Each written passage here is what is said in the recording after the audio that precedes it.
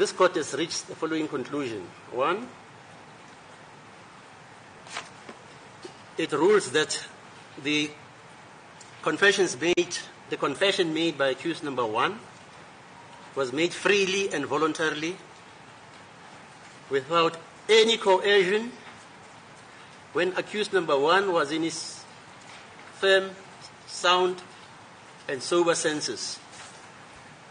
Two, the confession made by accused number two in respect of the said confession being taken by Mrs.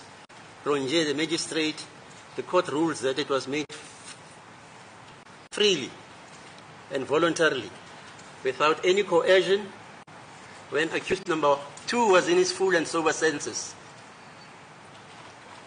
And also the confession made before Colonel Rapudi was also made by accused number one, two.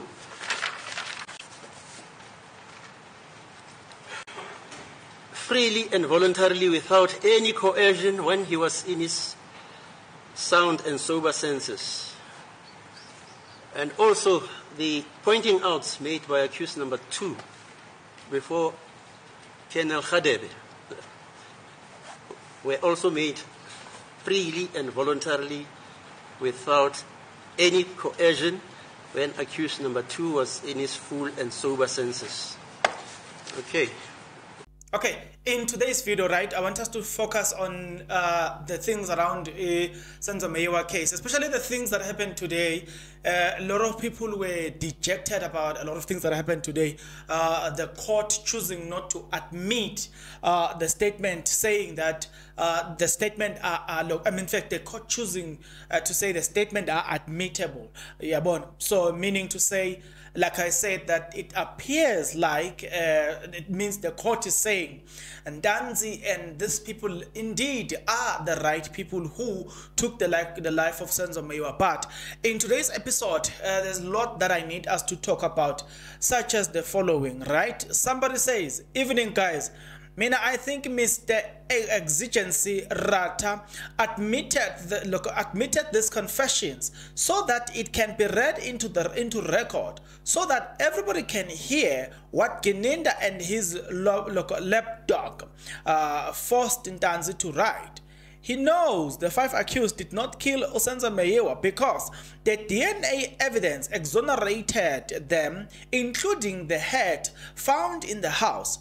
What is left now is for the ballistic expert uh, of the defense to rebut the evidence given by the ballistic, ev look, ballistic evidence of the state or expert of the state. Right, I'm going to read more of this. Even if a confession is made, it is still needs to be tested in the, in the main trial. And all of the loopholes will prove that the confessions are not true. Just because it is a confession, it doesn't mean it is true. At the end of it all, the accused will be found innocent because the material evidence is not make sure. Well, I must say, this is an intellectual property of somebody that decided to write and say, guys, do not um look it was like ah guys ningaphela umoya khululeka meka nomoya phansi but i'm about to read more of this uh, provided obviously with your permission obviously so i am basically maybe i maybe i should say i'm now comforting you guys i don't know but it sounds like indeed i am comforting you guys to say, nah, guys, don't lose hope. We still have a, long journey to travel in this case, right? There's still more evidence that is still going to come up. And don't forget the likes of our Makubu that are still coming up, who are working for the state, and they will rebut this. We are still waiting for the likes of Abo Leshabane. Also, guys, they will come and rebut. Sorry, guys, for that. Uh, they will come and rebut this. I don't know what's this. They will come and rebut a lot of these things. So yeah, don't, don't lose hope, don't lose hope, don't lose faith, right? And there's other thing that I don't want you to lose faith on, and that is, I put it to you that you do the following. If you are not yet subscribed, what are you waiting for? Come on, good people. Because to subscribe, it is free. To like the video, it is free. To comment in the comment section below, it is free of charge. To click the notification bell, it is free of charge. To share this video, it is free of charge. To watch this video until the end, it is free of charge. Also, good people, I mean, come on, to watch the ads, it's free of charge, and that's how you financially contribute to this YouTube channel. Speaking about financially contributing to the channel, you can join, become a member of this YouTube channel from as little as 20 Rand a month. You can also uh, use the super thanks button. In case you don't want to do that, guys, there is a way where you can use my media company banking details to donate to the channel and you know what I'm saying will bring you more and also guys want to buy more equipment. So the power is in your hands. Please do the honorable thing as we proceed. Okay um let's continue let's continue let's continue. Let's uh, take it up from there. Right somebody then decided after people were dejected and you know what i'm saying? A lot of people felt like ah it's over. Shame now it's over. Then somebody says the fact that Judge Ratha admitted the confession is not a train smash. Oh, when I read it, I was like, what are you saying? Because I honestly I was disappointed. If you have seen the video that I made, I was like, hmm. Yeah, man, I didn't have that energy. I was disappointed. Because in my heart, I was praying that, you know what, this judge should accept this and declare them uh, that they are inadmissible. Uh, you know, I said, I said accept. That's a wrong word. I meant he shouldn't accept this and declare them that they are not admissible. But he did contrary. This person says, What? We deemed it as, yo, shock of our lives. This person says, No, relax, guys. This is not a strange smash. Ah, I get right there. I was like, Let me listen to what this person is saying. And then this person say, The burning issue is that we are now faced with contradicting evidence from the state witnesses, of which Gininda refuted everyone else's evidence by testifying that it was not robbery gone wrong, but a plan hit, and Kelly Khumalo is the mastermind. Aye, Ale, Checkley yeah, I, I, you know, according to the statement the the, affidavit it says that Kelly Khumalo is the mastermind, right? So this person then is now quoting from that and saying, no, do not be, uh, look, uh, look, uh, guys, please come back, man. You know what I'm saying? Okay? Now, I think that one thing that I need to interrogate in what he's saying is that they have contradicted each other in the in the in the in the trial right? So i think one day i will then revisit how they contradicted one another. But for now let me continue now, in the main trial, all of this evidence must be tested, and at the end of the day, the court will have to consider the admissibility of the uh, of the confessions based on the evidence submitted in the main trial. Now, you will remember, uh, Advocate Baloyi, uh, when when uh, Advocate Baloyi, at the, look when everything was wrapped up, he then said, Advocate Baloyi said the, the witnesses that testified or uh, look on the trial within a trial they will be called starting from friday they will be called. Now it means that things that were said in the trial within a trial will have to be said in the trial now. And so they will have to give more details about the things they said in the trial within a trial. The same witnesses that were, were, were testifying in the trial within a trial will testify in the main trial.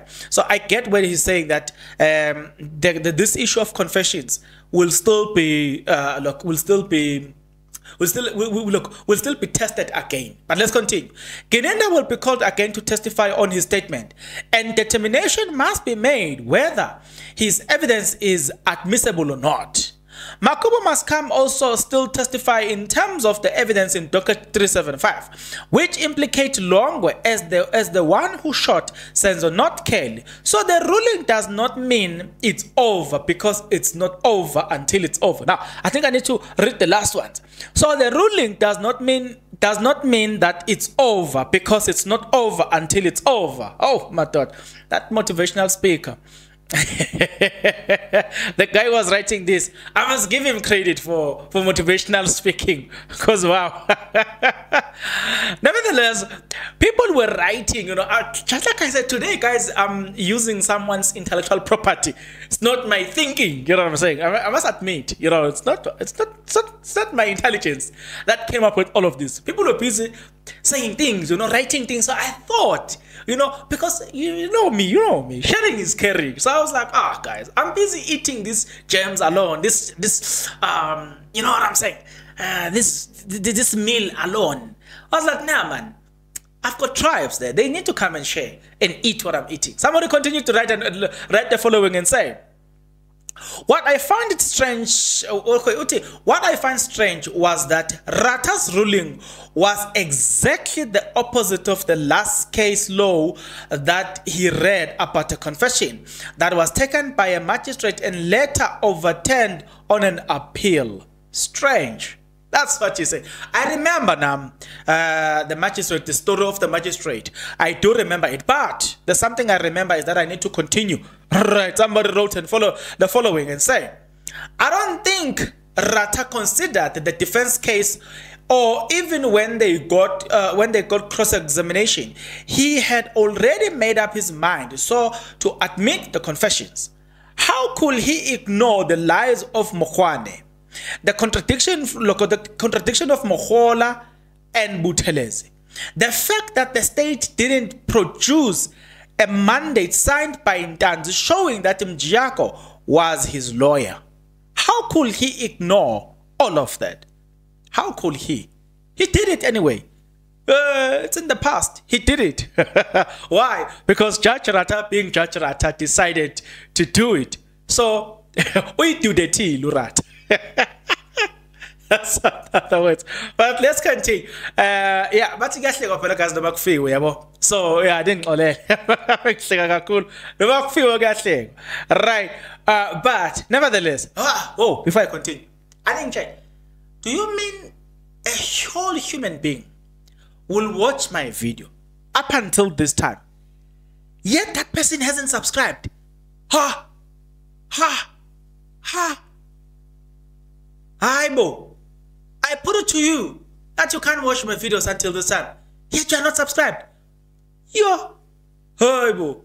So, the, the last person to write, Ute, Judge Ratha likes gossip. He just wants to know what is a confession statement. Otherwise, the state has no solid evidence going forward. That is why he kept on saying, this is a ruling which might change at the end of the main trial based on the other evidence that will be will be led. This ruling uh, should now make the defense pull up their socks too. They are uh, look they, now they should bring out their best. Uh. I fully concur. Well, what's your take? I, mean, I think they should now in the defense now, mind you, they need to wake up, right? Maybe it was a blessing in disguise that oh, accused number one is now represented by a, a, a, a, different a different lawyer altogether. So each lawyer now is focused on his client. I think somehow it was a blessing in disguise because I mean, come on, come on, come on, come to think of it, it will work wonders as we go for as we go forward. Um, there's one thing for sure that I know is gonna work wonders. If you just guys, you see when you see that button, the subscribe, just smash it, smash it, right? And then don't forget, you know, you see when you when when when you see your phone and you see the banking details in my phone, you know, just send, smash it like that. You know what I'm saying? exactly. So that's oh come on, guys. But again yeah, uh, those are the things that guys they do work when it comes to um, the support that is needed for us to grow even further in this YouTube channel because we desperately need to grow. And I'm definitely sure you want this channel to reach greater height. We really need to. I, I, I want to start a, a new series these days, right? Uh, I want to visit people who have been failed by the system. Uh, I'm not talking about ex-convict. Uh, I think there are enough people that are dealing with the ex-convict. But I, I want to focus on people that have been failed by the. Not that I'm gonna. I'm not gonna do them. But uh, right now, guys, uh, I want to do do uh, stories such as uh, Inkabi. I want to do stories such as um, because I think if if I can interview Inka Inkabi and understand how they work, it will give us a perspective as well as as far as the Meyiwa case is concerned. It will give us a, a very clear perspective as far as that case is concerned to, to, to see whether or not these people that we have there really the story given by the Khumalos uh, does it really make sense the story that the, the, lead investigator is portraying? Because remember at some point advocate um, said that here we are told um, look this was a hit but we are arguing as if it was a robbery gone wrong. Those are two contradicting things right? So I think if we can hear from Inkabi and he must tell us how it works. Because things such as, remember, when I said to you guys, uh, how is it that Ntanzi was involved in these things of, um, what did I say? Hey, hey guys, now I'm getting old pair. I, I said, how is it that Ntanzi was involved in these things? Because he was working. So if Inkabi is about to do his work, he needs to go and to do some processes, some cleansing, some what what. Uh, no, cleansing, not cleansing. Cleansing is done after.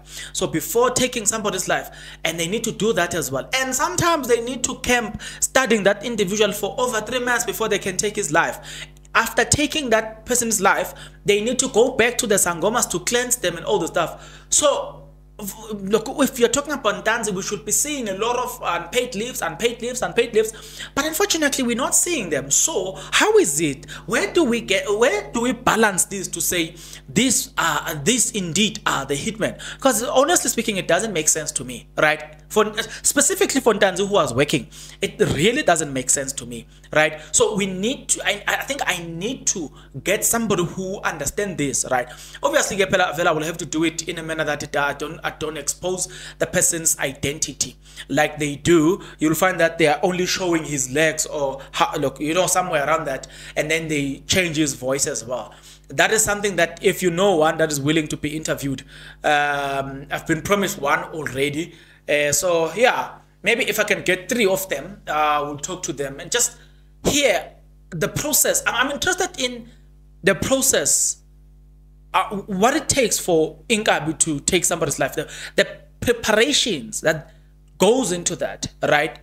And then, I, I, I, look, uh, once they are once they've completed their job, the process that follows that as well. I want because right now, if I can, if I, if I can say or if I explain it, it will not make sense as much as it will if it was explained by a person involved in it, in it, right?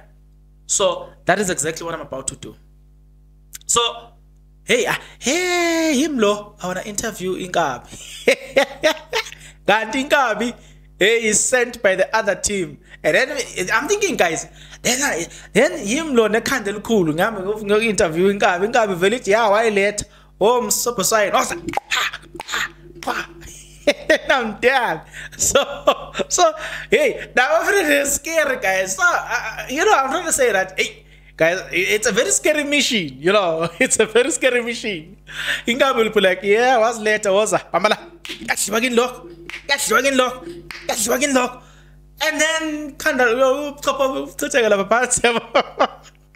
I'm sure if one of them is watching me is like hey unabo ngani uthini ngathi ucabanga thina sihambe sidubula nombanje hey lafana bazosixhaphaza wena sokudubula sokudubula unani wena hey afethi ngiyadlala ingaze ning ngiphabanisa nemvula yabo hey ngiyadlala le kodwa ke angidlala ukuthi uh, to have an interview with one of them. Like honestly speaking, because I just want to understand the Meyiwa case in a deeper perspective as to if indeed these were uh, Izinkabi, then their behavior is so strange. Remember that they got into that door, they got into that house, they got overpowered by an individual.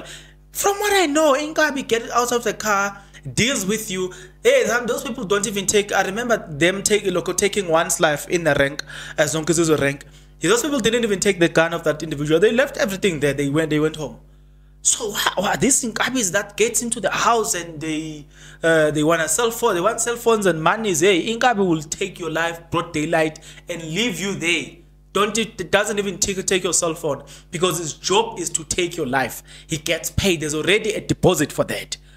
And then when he's done with taking when he's done taking your life, He's going home. He, look, uh, when he gets home, we meet with these people. They will pay the balance, and then it's done. Job done. Those guys have good houses. They live in fancy areas. They drive fancy cars because their life get taken care of. What about this Inkabi that steals cars and all the look? They steal cell phones and all the stuff.